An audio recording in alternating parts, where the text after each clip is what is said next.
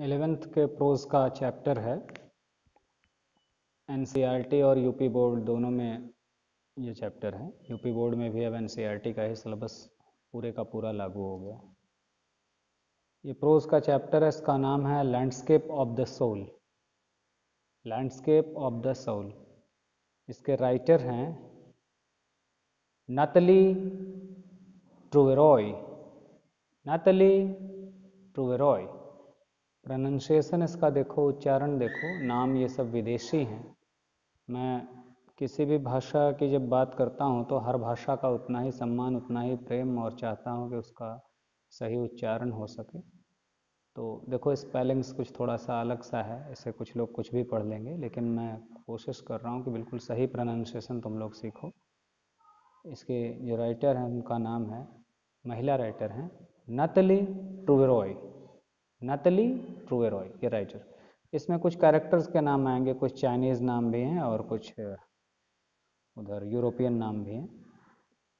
Chinese नाम एक आएगा एक आर्टिस्ट का, उसका नाम होगा वुडेजी वुडेजी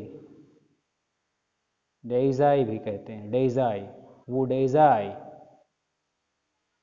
और एक सम्राट आएँगे चीन के। जिनका स्पेलिंग होगा X U A N Z O N G इसको पढ़ेंगे जियनजाओ जियनजाओ, लिखा जाएगा।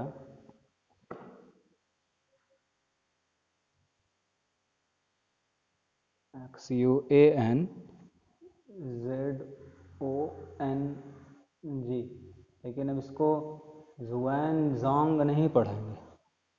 पढ़ेंगे इसको। जेनजाओ जेनजाओ चाइनीज़ वर्ड है ये। और एक आएँगे जो यूरोपियन आर्टिस्ट का नाम इसमें क्विंटन मेट्सिस क्विंटन मेट्सिस ये तीन चार नाम आएँगे। लैंडस्केप का अर्थ होता है, एक पेंटिंग ऐसी हो जिसमें एक प्राकृतिक दृश्य का चित्रण हो। ये पाठ तुम लोगों को पढ़ाने में थोड़ी सी मुश्किल होगी, मेरे लिए भी, तुम लोगों के लिए भी, क्योंकि मैं जानता हूँ कि जिस तरह के बैकग्राउंड से तुम लोग आते हो आर्ट वगैरह, कला, साहित्य, संगीत की समझ थोड़ी सी कम होती है। ये बहुत उच्च कोटि की बातें हैं, आदमी जैसे जैसे सभ्य होता है, परिष्करण उसका होता है, उसके संस्कारों का तो कला, साहित्य, संगीत की ओर उसकी रुचियाँ बढ़ती हैं। सौल का अर्थ होता है आत्मा, यानी एक तरह से समझ लो कि आत्मा का पूरा चित्रण। लैंडस्केप तुम लोग समझते जैसे नदी, पहाड़, झील, झरना, ऐसे एक पूरे के पूरा प्राकृतिक चित्रण को लैंडस्केप कहते हैं। इस चैप्टर में चाइनीज़ आर्ट और यूरोपियन आर्ट का बिल्कुल एक सामान्य तुलनात्मक अध्ययन किया गया। ये दिखाया गया कि चाइनीज़ आर्ट या इधर जो ईस्ट का आर्ट है, पूरब वालों का आर्ट इधर के आर्ट जो थे, वो ज़्यादातर आत्मा की ओर जाते थे। और जो यूरोपियन आर्ट थे, वो एग्जैक्टनेस बिल्कुल हूबहू, ज्यों का त्यों उतारना, ये प्रयास होता था वहाँ का। इसलिए तो एशिया और यूरोप के आर्ट में ये जो डिफरेंस था, ये दिखाने का प्रयास किया कि फ़िज़िकल डिफरेंस क्या था और मेंटल डिफरेंस क्या था। मन में क्या चलता है जब चित्र या कोई कलाकृतियाँ बनती है तो मन में क्या होता है उसके पीछे? तो यह नाम मैंने कई बार प्रोनाउंस किया कि तुम लोग इसे अच्छी तरह से बोलने की प्रैक्टिस कर लो। अब हम चैप्टर देखते हैं। A wonderful old tale is told about the painter Wu Daozi who lived in the eight century his last painting was a landscape commissioned by the Tang Emperor Xuanzao to decorate a palace wall. The master had hidden his work behind a screen so only the emperor would see it. For a long while, the emperor admired the wonderful scene, discovering forests, high mountains, waterfalls, clouds floating in an immense sky, men on hilly paths, birds in flight. Look, sire, said the painter, in this cave at the foot of the mountain dwells a spirit. The painter clapped his hands, and the entrance to the cave opened. The inside is splendid, beyond everything words can convey. Please let me show your majesty the way. The painter entered the cave, but the entrance closed behind him, and before the astonished emperor could move or utter a word, the painting had vanished from the wall. Not a trace of Wu Dei's brush was left, and the artist was never seen again in this world. A wonderful old tale is told about the painter Wu Deizai.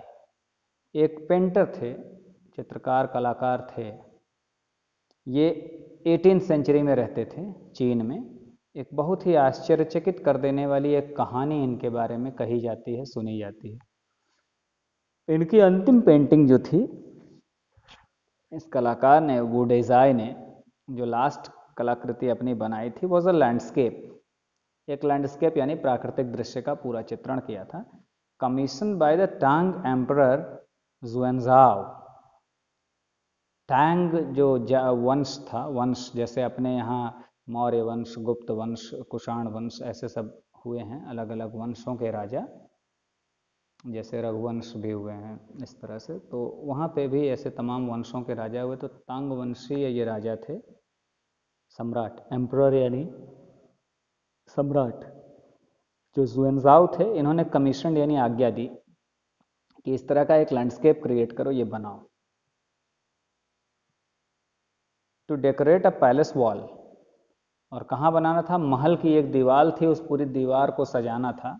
तो उन्होंने कहा, ऐसा एक पूरा यहाँ पे landscape बना दो।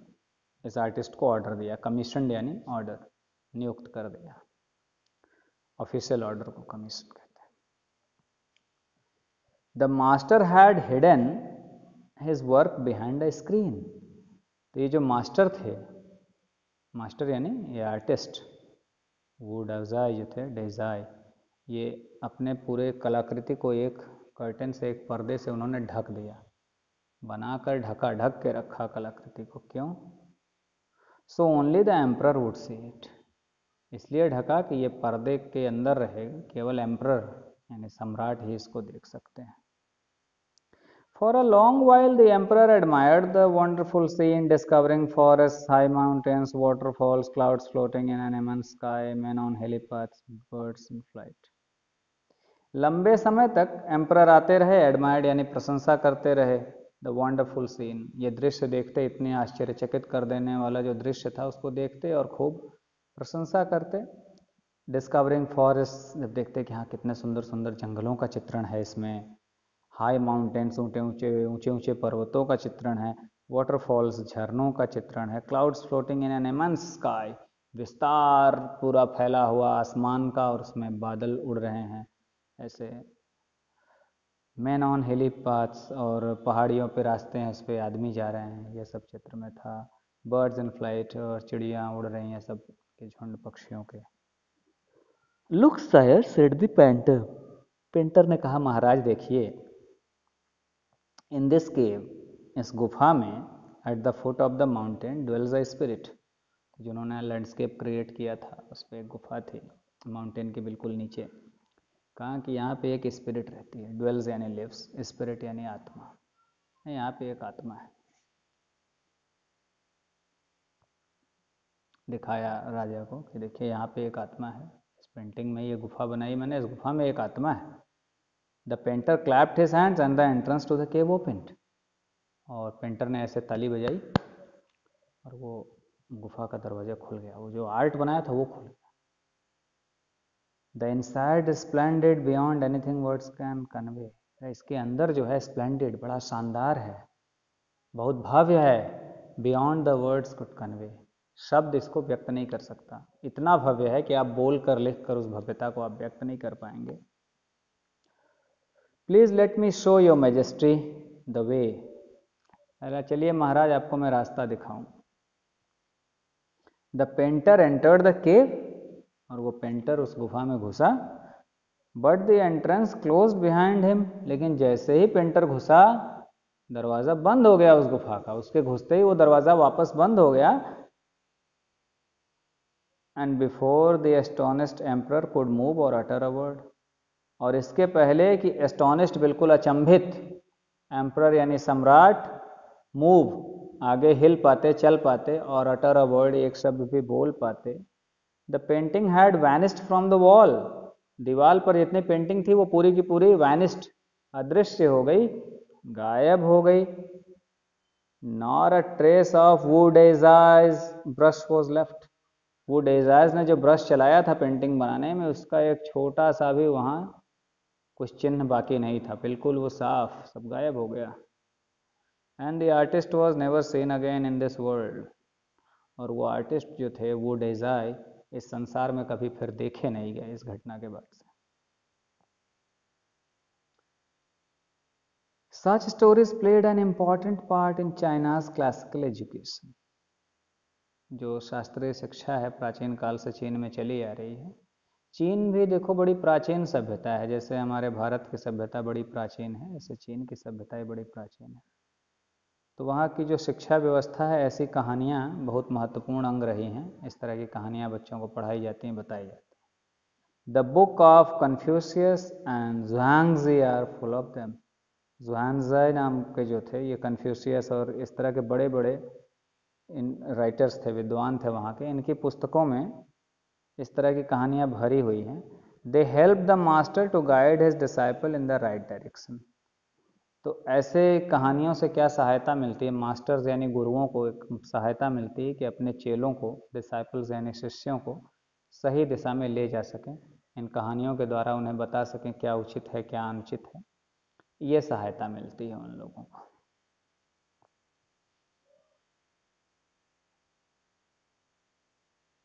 Beyond the anecdote, they are deeply revealing of the spirit in which art was considered. Contrast the story or another famous one about a painter who wouldn't draw the eye of a dragon he had painted for fear it would fly out of the painting with an old story from my native Flanders that I find most representative of Western painting. Beyond the anecdote anecdote यानी किमदंतियाँ इस तरह की जो कहानियाँ चलती हैं इन कहानियों के परे भी जाएं मतलब एक तो एक कहानी भाई, चलो इस तरह की कहानियाँ चल रही हैं। हर प्राचीन सभ्यता में ऐसी कहानियाँ होती हैं। They are deeply revealing of the spirit ये कहानियाँ तो भाई एक हैं कि सीधे सीधे चलती आ रही किमदंतियाँ हैं, कथाएँ हैं, लोक कथाएँ। लेकिन एक आत्मा को ये दिखाते हैं कि वो सोच विच आर्ट वॉज़ कंसिडर्ड जब कलाकृतियाँ बनी तो अंतरात्मा में क्या भाव था? अंदर के जो भाव थे, ये कहानियाँ वो भी दिखाती हैं। Contrast the story. स्टोरी के एकदम ठीक विरुद्ध हम देखें, बिल्कुल विपरीत देखें। Another famous one about a painter तो एक इस कहानी के ही हम चलिए, एक दूसरी कहानी देखते हैं कि बहुत ही फ़ेमस पेंटर थे who won't draw the eye of a dragon he had painted उन्होंने एक ड्रैगन का चित्र बनाया। ड्रैगन देखो एक मिथिकल एनिमल है। ठीक है? पौराणिक कथाओं में इसका वर्णन है। पौराणिक कथा मतलब भारत का नहीं, चीन में। ये एक विचित्र टाइप का जानवर है, जैसे कि तुम लोग समझ लो गिरगिट टाइप का, लेकिन बहुत बड़ा, इसके मुँह से आग निकलती है, उड़ता है आसमान में, ऐसे ऐसे है। इसके पंख भी हैं, चार पैर भी हैं, पूँछ है लंबी सी। तुम लोग नेट पे गूगल कर सकते हो ड्रैगन। ये सच में ऐसा है नहीं, एक मिथिकल एनिमल है। जैसे कि कुरान में भी मिलता है कि एक गदही थी और उसका सिर औरत का था पूरा। उसे बैठ के लोग स्वर्ग गए थे देखने। तो ऐसे कहानियाँ मिलती हैं तो ऐसे एक एनिमल है। तो यहाँ जो बात है, इस ड्रैगन की बात हो रही है, उसकी आँख नहीं पेंट करा। पूरा ड्रैगन उसने पेंट किया। पहली कहानी में देखा हमने कि पूरा उसने लैंडस्केप बनाया, फिर उसमें एक गुफा थी, कहा इसमें एक आत्मा है और दरवाज़ा खुला और वो चला गया और वहाँ से अदृश्य हो गया। यहाँ एक दूसरा किसने अपने आर्ट को पूरा ही नहीं किया? ये आर्टिस्ट इतना भयभीत था कि अगर मैं पूरा ड्रैगन पेंट कर दिया, आँख नहीं बना रहा था कि अगर आईज बना दूँगा तो ये उड़ जाएगा। For fear it would fly out of the painting कि ये पेंटिंग से बाहर निकल के उड़ जाए। An old story from my native Flanders that I find most representative of Western painting तो ये देखो, ये दो कहानियाँ थे, ये कह रहे हैं कि एक पुरानी कहानी है मेरे नेटिव फ्लैंडर्स फ्लैंडर्स एक जगह है बेल्जियम में। तो बेल्जियम के रहने वाले बता रहे थे तो ये कहानी और ये जो दोनों कहानी चीन वाली है, अभी ये जो नेटिव फ्लेंडर्स की जो कहानी, यानी बेल्जियम वाली जो कहानी या वेस्टर्न आर्ट की जो कहानी है, वो भी आगे आएगी नीचे। तो I find most representative of Western painting तो ये जो कहानी अब नीचे बताएँगे, इन कहानियों के विपरीत, एक विरुद्ध कहानी जो अब नीचे हम लोग सुनेंगे, ये बड़ा वेस्टर्न पेंटिंग का रिप्रेजेंटेटिव है, प्रतिनिधित्व करता है कि वेस्टर्न पेंटिंग में क्या होता है। हम लोगों ने ईस्ट में देखा, पूरब के पेंटिंग में आए, एशिया के पेंटिंग में क्या था कि भाई आत्मा की बात थी, अंदर की बात थी कि उसने भी बनाया एक पेंटर ने तो उसकी आत्मा में ये भय था कि भाई ये ड्रैगन कहीं उड़ ना जाए। एक ने इतना सजीव चित्रण किया कि अपने अंतर की सुंदरता को खोजने के लिए उसी में गया और चला ही गया, ऐसी कहानी। अब यहाँ देखते हैं। In fifteen century Antwerp Antwerp एक सिटी है बेल्जियम का एक शहर है बेल्जियम देश का ये। A, master blacksmith called Quentin Metsys fell in love with a painter's daughter एक मास्टर ब्लैक स्मिथ था। ब्लैक स्मिथ मतलब जो लोहे वोहे का काम करता है ना, जैसे लुहार अपने यहाँ होता है। तो वो था और उसका नाम था क्विंटन मेट्सिस। तो fell in love with a painter's daughter तो एक पेंटर थे, चित्रकार थे, उनकी बेटी से इन्हें प्रेम हो गया। The father would not accept a son in law in such a profession भाई, अब पिता इतना बड़ा कलाकार पेंटर था तो वो, भाई, अपना दामाद सन इन लॉ ऐसे पेशे में कि वो लोहे का काम बहुत ज़्यादा उसमें आर्ट की गुंजाइश नहीं तो स्वीकार ना करता so Quentin sneaked into the painter studio and painted a fly on his latest panel with such delicate realism that the master tried to swat it away before he realized what had happened. तो भाई Quinton ने कहा कि ऐसे तो मानेंगे नहीं, दामाद अपना स्वीकार करेंगे नहीं ये पेंटर साहब। तो भाई उसके अंदर भी कलाकार था और वो क्या किया? Sneaked into the painter studio studio मतलब एक कमरा बनाए रहते हैं, वहाँ पे लोग काम करते हैं इस तरह से। तो वहाँ ये घुस गया, चोरी से घुस गया। और घुस के पैनल, जहाँ पे जैसे स्टैंड वगैरह पे देखोगे तुम लोग पैनल लगा रहता है उस पर बनाने के लिए चित्र, बोर्ड वगैरह, पेपर वगैरह, या जो भी मीडियम हो जिस पे बनाना होता है, वहाँ पे गया। एंड पेंटेड अ फ्लाई और एक मक्खी का चित्र बना दिया इस लुहार ने। With such delicate realism delicate realism realism मतलब यथार्थ, इतनी बारीक बारीक चीज़ों को यथार्थ किया। ये डेलिकेट रियलिज्म मतलब एकदम बारीकी से इतना सजीव चित्रण कर दिया उस मक्खी का। With such delicate realism that the master tried to swat it away कि जब मास्टर आए तो उसको स्वैट इट अवे, ऐसे उसको हाँक के उड़ाने का प्रयास किया। यानी जब वो आर्टिस्ट आए अपने उस स्टूडियो में और वो जो उनका पैनल था, लगा रखा था, उन्होंने नया वाला चित्र बनाने के लिए, उसमें मक्खी देखा तो उन्हें यह भ्रम हुआ कि असली मक्खी बैठी है और इसको ऐसे हटाने की, उड़ाने की कोशिश की before he realise what had happened जब तक कि वो समझ पाते कि क्या हुआ था। जब उड़ाने की कोशिश की, तब वो समझ पाए, भाई, नकली है। तो पहले तो ऐसा प्रयास कर लिया। यानी इतना सजीव, इतना सटीक चित्रण हुआ था। रियलिज्म की देखो बात हो रही है यहाँ। Quentin was immediately admitted as an apprentice into studio Quentin का तुरंत एडमिशन दे दिया। अप्रेंटिस मतलब जो सीखने जाता है कोई काम, उनके स्टूडियो में तुरंत उनको उन्होंने एडमिट किया कि भाई तुम तुरंत आओ, मेरे चेले बन जाओ और सीखो यहाँ काम। अप्रेंटिस का काम बड़ा अच्छा होता है। आज हम लोग जो बेरोजगारी का रोना रोते हैं या पूरी दुनिया में, ये एक बहुत बड़ा कारण है कि हम अप्रेंटिसशिप नहीं करते। हम किसी चीज़ को सीखना नहीं चाहते, हम किसी का शिष्य नहीं बनना चाहते। पहले तो बड़ी कठिन परीक्षाएँ लोग लेते थे शिष्य बनाने के लिए भी, अब कहाँ ऐसा है? खैर he married married his beloved and went on to become one of the most famous painters of his age तो अपनी प्रेमिका से बिलवेड यानी प्रेमिका से उसने विवाह भी किया और धीरे धीरे धीरे धीरे most famous painters of his age अपने काल का, अपने समय का, यानी फिफ्टी सेंचुरी का क्विंटन मेट्सिस बहुत ही प्रसिद्ध पेंटर भी बने। These two stories illustrate what each form of art is trying to achieve अब ये दोनों कहानियाँ देख लो। एक तो भाई चीन वाली कहानी, यानी एशिया की कहानी और ये यूरोप की। तो दोनों आर्ट के रूप हैं, क्या प्राप्त करना चाहते हैं? A perfect illusionistic likeness in Europe Europe वाले क्या चाहते हैं? परफेक्ट एकदम संपूर्ण रूप में इसमें कोई कमी ना हो। इल्यूजनिस्टिक लाइकनेस बिल्कुल भ्रम हो जाए लाइकनेस मतलब वही होने का। बिल्कुल सेम होने का। जैसे अगर मेरा चित्र कोई बना दे तो इतना सटीक बना दे कि लगे कि हाँ वही बैठे हैं। तो ये कहाँ? यूरोप की एक खासियत। The essence of inner life and spirit in Asia लेकिन अंदर जीवन के अंदर क्या है? जीवन के रहस्य क्या हैं? अंदर आत्मा में क्या चल रहा है? मन में क्या चल रहा है? इसको समझने का प्रयास किया एशिया वाले पेंटिंग ने। तो ये दोनों आर्ट के फॉर्म और दोनों का लक्ष्य कितना अलग, ये दोनों कहानियों से स्पष्ट हो जाता है। यहाँ तक रखते हैं इस वीडियो में। अगले पार्ट में हम आगे करेंगे। धन्यवाद।